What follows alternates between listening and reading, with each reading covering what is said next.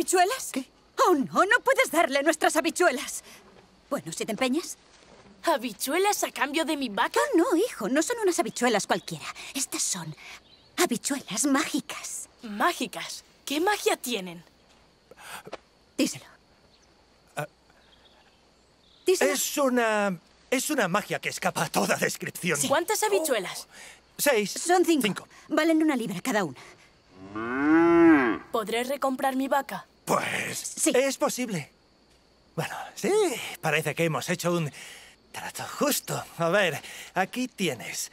Son una, dos, tres, cuatro, cinco.